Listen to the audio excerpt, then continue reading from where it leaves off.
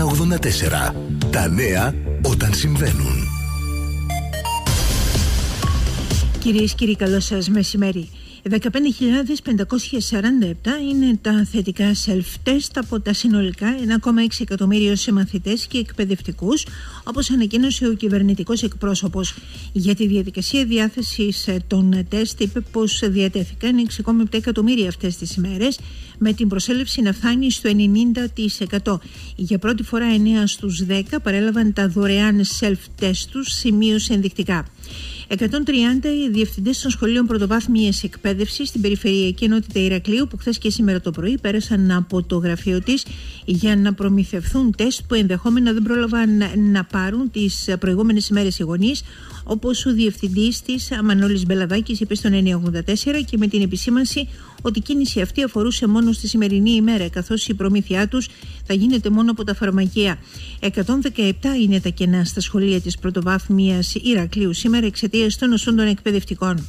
Οι Ομοσπονδίες θεωρούν ότι το Υπουργείο Παιδείας δεν έχει προετοιμαστεί επαρκώς για το στίχημα της επανεκκίνησης των σχολείων. Η Ολμέσα ανακοίνωση της αναφέρει μεταξύ άλλων ότι το Υπουργείο Παιδείας δεν είχε προετοιμαστεί καθόλου για το ασφαλές άνοιγμα των σχολείων και ότι θα μπορούσε να δώσει μια μικρή παράταση των διακοπών όπως είχαν συστήσει και πολλοί ειδικοί. Θέλω να υπογραμμίσω ότι η πατρίδα μας είναι στις πρώτες θέσεις στην Ευρώπη σε εργαστηριακούς και αυτοδιαγνωστικούς ελέγχους, αναφέρει σε ανάρτησή του ο Πρωθυπουργός προσθέτοντας. Μέχρι τώρα έχει οργανώσει και διαθέσει 94 εκατομμύρια τεστ σε 7 εκατομμύρια 800.000 πολίτες. Σύμφωνα με τους επιστήμονες, μαζί με τους εμβολιασμούς, είναι η καλύτερη απάντηση στην πανδημία και ειδικά στην μετάλλαξη όμικρον. Γι' αυτό συνεχίζει ο Πρωθυπουργός και το πρόγραμμα παρακολούθησης της δημόσιας υγείας συνεχίζεται σε ολόκληρη τη χώρα. Είναι σίγουρο ότι τις επόμενες εβδομάδες θα υπάρξουν κάποια προβλήματα. Όμως θα είναι μικρότερα από το κέρδος που θα έχει η κοινωνία, οι γονείς και κυρίως τα παιδιά μας. Με το σαφές αλλά και ευέλικτο σχέδιο της πολιτείας, τη συμπαράσταση των εκπαιδευτικών και την κατανόηση όλων, σήμερα κάνουμε ένα βήμα μπροστά. Τα ανοιχτά σχολεία μπορούν να γίνουν προάγγελος και της ανοιχτής κοινωνίας. Η κυβέρνηση έσπευσε να ανοίξει τα σχολεία χωρίς τα αναγκαία υγειονομικά πρωτόκολλα που εφαρμόζονται σε όλες τις άλλες χώρες, αγνώντας τις προειδοποίησεις των ειδικών ότι αυτή την εβδομάδα θα κορυφωθεί η πανδημία, δηλώνει από την πλευρά του ο τομέαρχης παιδείας του ΣΥΡΙΖΑ, Νίκος Φίλης. Πανηγυρίζει με τα self-test, βρέθηκαν 16.000 μαθητές και εκπαιδευτικοί θετικοί σε COVID. Το γεγονός ότι βρέθηκαν τώρα τόσες χιλιάδες θετικά κρούσματα επιβεβαιώνει, συνεχίζει ο κύριος Φίλης, ότι ο ΕΟΔΗ δεν κάνει ιχνηλάτηση. Έχει πέσει στο 1% των κρουσμάτων και δεκάδες χιλιάδες συμπολίτες μας μεταφέρουν χωρίς να το γνωρίζουν το ιό στην κοινωνία. Δημοσιεύθηκε το ΦΕΚ για την επίτευξη των ιδιωτών γιατρών, η οποία θα ξεκινήσει την Τετάρτη 12 Ιανουαρίου, αρχής γενομένης από τα νοσοκομεία των περιφερειών Δυτικής Μακεδονίας, Κεντρικής Μακεδονίας, Ανατολικής Μακεδονίας και Θράκης. Βαθιά υγειονομική κρίση που βιώνουμε, σημειώνει ο βουλευτής Νίκος Ιγουμενίδη, μιλώντας στον 984 και πολιτική επιλογή της κυβέρνησης να υποβαθμίσει την υγεία και την εργασία. Στις προτάσεις του, η επιστροφή στα νοσοκομεία των 6.500 υγειονομικών που έχουν τεθεί σε αναστολή με ενισχυμένα υγειονομικά πρωτόκολλα η άμεση τοποθέτηση των 800 γιατρών στα νοσοκομεία και 400 γιατρών στην πρωτοβάθμια φροντίδα υγείας, η άμεση επίταξη των ιδιωτικών κλινικών και στρατιωτικών νοσοκομείων, τα δωρεάν τεστ σε όλους τους πολίτες, η εκκίνηση πανελλαδικής εκστρατείας για πρώτη και τρίτη δόση εμβολιασμού, όπως και η επανεκκίνηση του εμβολιαστικού προγράμματος για τα παιδιά. Η κυβέρνηση διαχειρίζεται με τον καλύτερο δυνατό τρόπο την πανδημία. Ο ΣΥΡΙΖΑ είναι για να κάνει αντιπολίτευση. Ανταπάντησε μέσω του 984 ο βουλευτής Νέας Δημοκρατίας Μάξιμος Σενετάκης. Προσπαθούμε να διαχειριστούμε τα της πανδημίας καλύτερα από ό,τι άλλες χώρες και αυτό θα φανεί στο τέλος, σημείωσε. Επενδύσαμε και επενδύουμε στο ΕΣΥ. Επιχειρούμε να αντιμετωπίσουμε και να καλύψουμε τα όποια προβλήματα στις υποδομές, κυρίως σε ΜΕΘ. Για το άνοιγμα των σχολείων, ο βουλευτής αναφέρει την αναγκαιότητα τα παιδιά να βρίσκονται στα σχολεία μέσα, μέσω των οποίων ελέγχει ουσιαστικά και καλύτερα τα κρούσματα κορονοϊού στην κοινότητα. Αυξάνονται από σήμερα Δευτέρα 10 Ιανουαρίου τα σταθερά σημεία ελέγχων ταχεία ανείχνευσης αντιγόνου COVID-19 σε πεζούς από κλιμάκια του ΕΟΔΗ στην περιφερειακή ενότητα Ηρακλείου. Καθημερινά από Κυριακή ως Παρασκευή, εκτός Σάββατο, θα λειτουργούν τα σημεία Πλατεία Ελευθερίας στο Δήμο Ηρακλείου, προάβλιος χώρους της 7η Υγειονομικής Περιφερεια στον Εσταυρωμένο.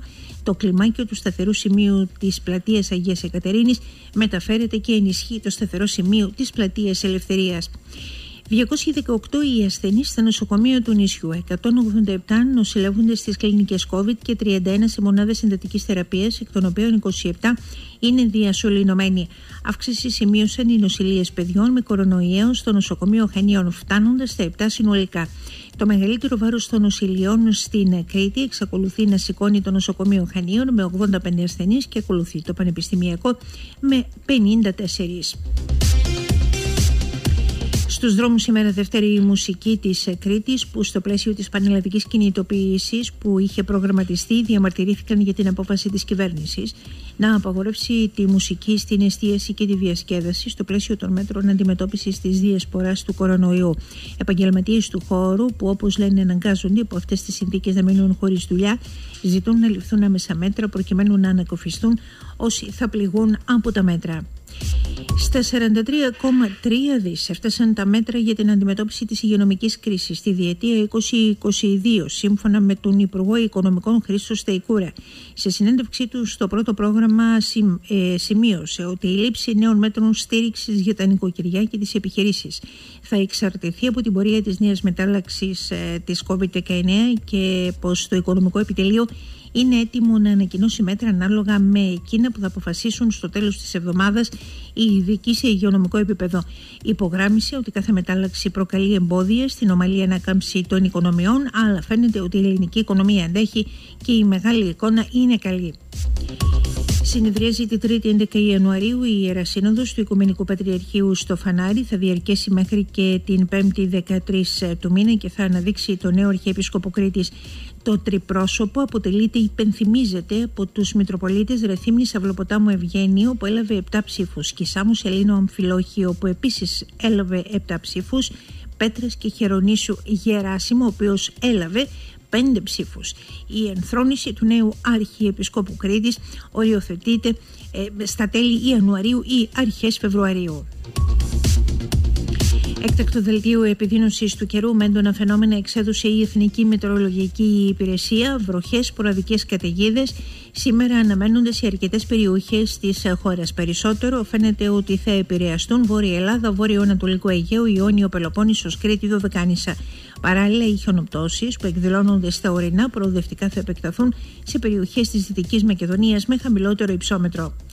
Παύλος Μπαριτάκης και Γρηγόρης Πασπάτης παραμένουν πρόεδροι σε περιφερειακό και δημοτικά συμβούλια αντίστοιχα μετά τις χθεσινές διμερεσίες. Συνάντηση Δήμου ΕΑΣΥ για την πρόθεση της κριτικής σταφίδας στα σχολεία, καθώς η σταφίδα εντάσσεται στην κατηγορία των υπερτροφών, αλλά και η σταφιδοπαραγωγή αντιμετωπίζουν πρόβλημα στη διάθεση του προϊόντος, όπως τονίζεται από την πλευρά του Δήμου. Νέα συνάντηση των εμπλεκόμενων φορέων αναμένεται την Παρασκευή 14 Ιανουαρίου. Η υποδειγματική διαχείριση της πολιτείας στις σεισμόπληκτες περιοχές, η θέση του βουλευτή της Νέας Δημοκρατίας Ηρακλείου Μάξιμου Σενετάκη στον 984, καθώς έδωσε λύση άμεσα σε στέγαση, σύντηση, σχολεία και επιχειρεί καθημερινά για την ενοικοδόμηση των πληγέντων περιοχών γνωρίζοντας ότι αυτό απαιτεί χρόνο, δουλειά και υπομονή στα 40 εκατομμύρια τα χρήματα που έχουν δοθεί μέχρι στιγμής μέσω της αρρωγής. Μόλις πριν από λίγες ημέρες, υπενθυμίζεται, μιλώντας στο 984, η Μάρκος Κουκολάκης και Κώστας Γκατανάτσιο από το Σύλλογο Ελπίδα είπαν ότι οι εκκρεμότητες είναι δεκάδες, ο βηματισμό της αποκατάστασης και ανάπτυξης εργός, ενώ με νέα τους επιστολή προς τον Υφυπουργό Αρμόδιο για θέματα κρατικής αρρωγής και αποκατάστασης από φυσικές καταστροφές, Χρήστο Τριαντόπουλο, ζητούν να τους αποστελούν τα στοιχεία για τους μέχρι τώρα ελέγχους αναφορικά με την κατάσταση των κτηρίων. Ισχυρίζονται πως μέχρι τις 12 Νοεμβρίου οι έλεγχοι που εκκρεμούσαν σε πρωτοβάθμιο επίπεδο ήταν 1200 πως τα παραπάνω στοιχεία είναι κρίσιμα για την υποβολή δηλώσεων από τους πληγέντες όπως και τη βοήθειά τους. Μέχρι στιγμής ο Σύλλογος έχει αποστείλει στο αρμόδιο γραφείο του Υφυπουργού παρά τη δυσφορία τους όπως καταγγέλουν τρία email με τα αιτήματα και τις προτάσεις τους αλλά χωρίς αντικρίσμα. Ισχυρή σεισμική δόνηση ένταση 5,3 βαθμών της κλίμακας Ρίχτερ σημειώθηκε στις 23 και 43 πρώτα λεπτά ε, χθες βράδυ στη Φλόρινα. Για ρήγμα που είχε να ενεργοποιηθεί 100 χρόνια κάνουν λόγο οι σεισμολόγοι. Ο σεισμός έγινε έντονα αισθητό σε ένα τόξο από τη Λάρισα έως και σε γειτονικές χώρες, ενώ η περιοχή χόρεψε στους ρυθμούς των μετασυσμών με τον ισχυρότερο να φτάνει τα 4,2 ρίχτερ. Σχολιάζοντας την πορεία της μετασυσμική ακολουθίας, ο Ακή Τσαλέντης σημείωσε πως από τα μέχρι τώρα δεδομένα αυτός ήταν ο κύριος σεισμός. Παράλληλα, προειδοποίησε ότι επειδή το αιστιακό βάθος του σεισμού ήταν μικρό, η ακολουθία θα συνεχιστεί για αρκετό καιρό, ακόμα για ημέρες, πιθανόν ίσως και για εβδομάδες. Τα σχολεία παρέμειναν κλειστά σήμερα. Από το σεισμό προκλήθηκαν αρκετές ζημιές, έσπασαν τζαμαρίες σε καταστήματα και σπίτια. Δεν υπήρξαν αναφορές για τραυματισμούς πολιτών. Μόνο ο Αντιπεριφερειάρχης Φλόρινας είπε ότι μετά το σεισμό δύο άτομα μεταφέρθηκαν στο νοσοκομείο για ψυχολογικούς λόγους.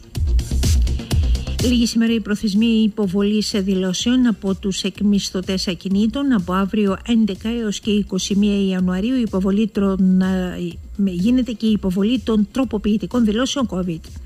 Στο τελικό στάδιο διαμόρφωσής της βρίσκεται η νέα κλίμακα για τον υπολογισμό του έμφυα που αναμένεται να είναι έτοιμη μέσα στο επόμενο χρονικό διάστημα.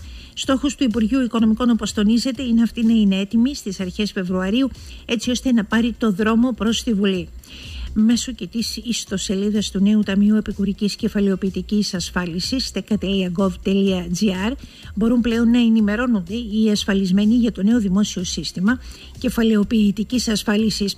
Το ΤΕΚΑ ξεκίνησε να λειτουργεί από την 1η Ιανουαρίου και σε αυτό ασφαλίζονται πλέον οι νεοεισερχόμενοι στην αγορά εργασίας με υποχρέωση υπαγωγή στην επικουρική ασφάλιση.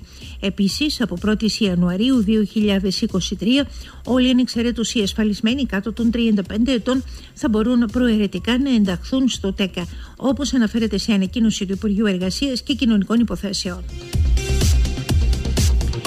Έως τις 20 Ιανουαρίου έχουν προθεσμία για την υποβολή ένστασης με email στο bonus 2021 papakefka.gov.gr οι συνταξιούχοι που δεν έχουν πάρει το μπόνους ε, στο τέλος του 2021, δηλαδή το έκτακτο βοήθημα των 250 ευρώ.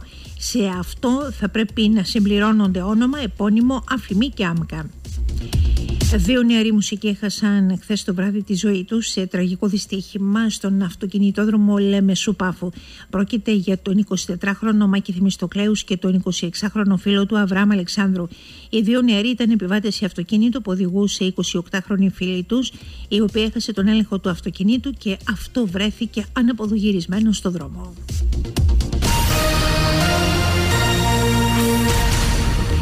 Στη Γενέβη αρχίζουν οι Αμερικανο-Ρωσικές συνομιλίες για το Ουκρανικό. Το θάρρος του Πρόεδρου του Καζακστάν εξήρει ο Βλάντιμιρ Πούτιν, καθώς όπως υποστήριξε στην έκτακτη σύνοδο των χωρών του Οργανισμού της Συνθήκης Συλλογικής Ασφάλειας, που διεξάγεται μέσω τηλεδιάσκεψης, με την εδραίωση της κοινωνίας κατόρθωσε να αποθήσει τους τρομοκράτες.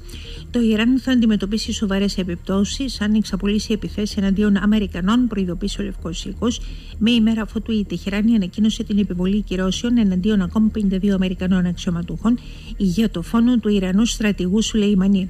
19 άνθρωποι έχασαν τη ζωή τους ανάμεσα τους και νέα παιδιά από πυρκαγιά που ξέσπασε σε πολυόροφο κτίριο κατοικιών στη συνεχεία Μπρόγκ τη Νέα Υόρκης. 10 άνθρωποι έχασαν τη ζωή τους και άλλοι 30 τραυματίστηκαν μετά την αποκόλληση και την πτώση βράχων που συνέθλιψαν τουριστικά πλεούμενα κοντά σε καταράκτη σε λίμνη της νοτιοανατολικής Βραζιλίας. 984 Νέα και σπορτ στην ώρα τους. Αναβολών συνέχεια στην Ευρωλίγκα με την διοργανώτρια αρχή να ανακοινώνει πως το προγραμματισμένο ματς του Ολυμπιακού με τη Ζενίτ στο ΣΕΦ 13 πρώτου δεν θα διεξαχθεί λόγω κρουσμάτων στις τάξεις των Ρώσων. Η Ζενίτ ζήτησε την αναβολή του αγώνα, η οποία έγινε δεκτή και οι δύο ομάδες θα αγωνιστούν αργότερα σε ημερομηνία που θα οριστεί από την Ευρωλίγκα. Με σαπένς και ανατροπή συνεχίζεται η υπόθεση παραμονής ε, του Σέρβου παγκόσμιου πρωταθλητή του τέννη Νόφακ Τζόκοβιτς στην Αυστραλία. Αυστραλιανά μέσα ενημέρωσης, κυβερνητικές πηγές και αθλητικοί παράγοντες διαψεύδουν τη σύλληψή του, καθώς όπως λένε εκκρεμούν οι αποφάσεις ε, του Υπουργού. Ωστόσο, σημειώθηκαν επεισόδια καθώς διαδηλωτές συγκεντρώθηκαν έξω από το γραφείο των νομικών εκπρόσωπων του, εμποδίζοντας τις αστυνομικές δυνάμεις να προχωρήσουν στη μετακίνησή του, όπως ορίζει το σχετικό πρωτόκολλο, θεωρώντας πως επίκειται επίκειται η σύλληψή του. Η αστυνομία προχώρησε σε συλλήψεις και σε χρήση δακρυγόνων. 984. Ο καιρός. Νεφελώδης ο καιρός, άνεμοι από νοτιοανατολικές διευθύνσεις στα 4 με 6 και τοπικά 7 μποφόρ, θερμοκρασία έως τους 15 βαθμούς Κελσίου. Στο σημείο αυτό ολοκληρώθηκε η αναλυτική σας ενημέρωση από το 984. Στο στούντιο Αγγέλα Δουλγεράκη Νίκος Φακιανάκης. Καλό μεσημέρι.